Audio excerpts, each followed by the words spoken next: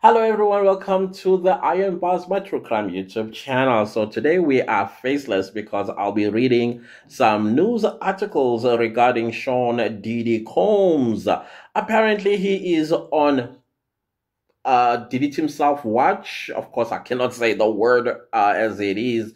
You know YouTube. So let's read the article. The article, the headlines 80 okay wait before we go as far as reading the article. The article is by Rachel McConry, uh, published September 20th, 2024 at uh, 10 to 5 p.m.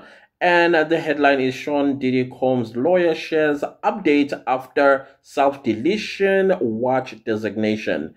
After Sean Diddy Combs was placed, uh, is on delete himself watch as he awaits trial after being arrested on charges including sex trafficking. His lawyer is sharing insight into the designation.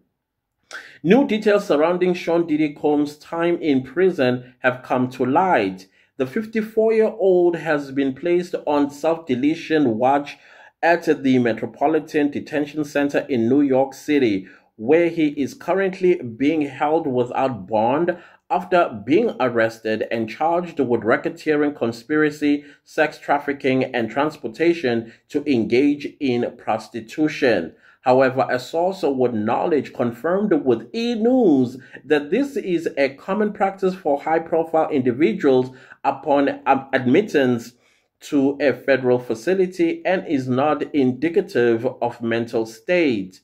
Combs' lawyer, Marc Agnifilo, told TMZ that after spending hours with the Bad Boy Entertainment founder in federal lockup, he viewed his client as not at all delusional, uh, calling himself strong, healthy, conf- confident, and focused on his defense.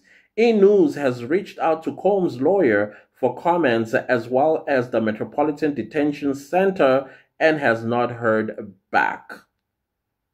Following Combs' September 16 arrest, Agnifilo shared with the court that his client was in therapy. He is not a perfect person. There has been drug use. He has been in toxic relationships.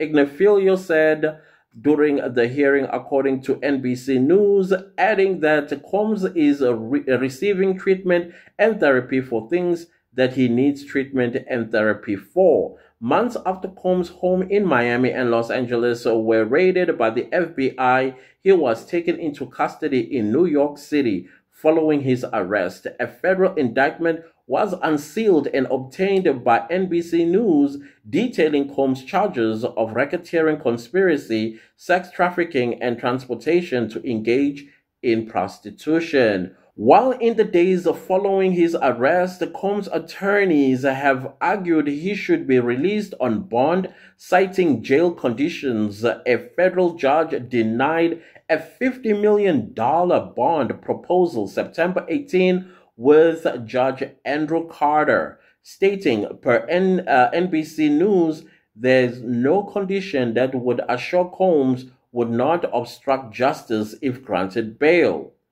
The reporter's team has maintained his innocence with Combs pleading not guilty to the charges during the September 17th uh, arraignment.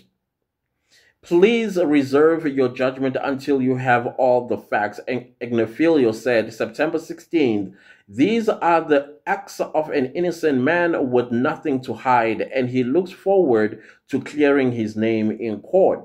So basically, uh, this is uh, what they are saying about PDD that uh, there's a suspicion of him uh, trying to delete himself, and as a result, he is on self deletion watch. And uh, so his lawyer is like, no, he is pretty strong, he's mentally fit, and he has no intentions of hurting himself in any way.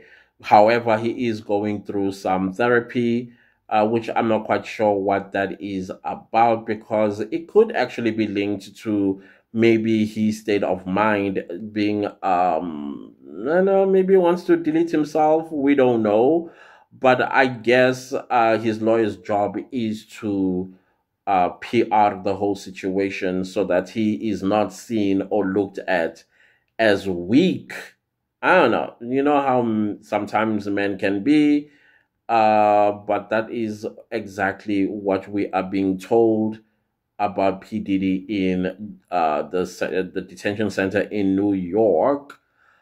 Mm, I don't know. What are your thoughts, guys? What are your thoughts regarding this report? Do you believe that maybe he might be uh, thinking of deleting himself? Because come on, being uh, denied bail can also uh, show the future of your case. You know, the future of your case it, it doesn't look good. I mean, also looking at R. Kelly, who is who actually is convicted for something almost similar to this one. It, it's crazy.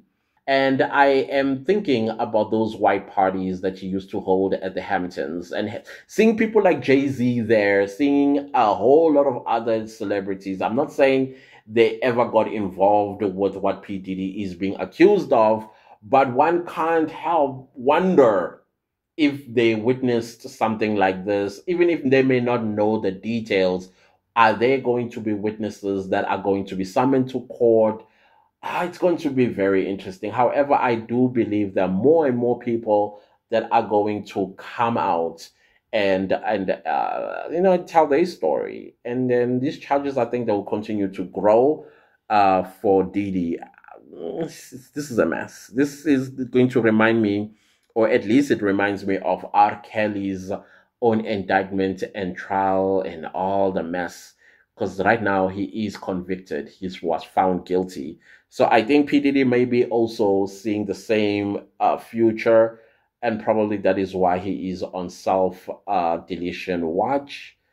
I hope he is strong enough and do clear his name if indeed uh, he is innocent of this. Please do not leave this video without liking, sharing, commenting, and do consider subscribing and click the bell, the bell notification before you leave so that you get notified every time I upload a new video. See you next time with a new video. Goodbye.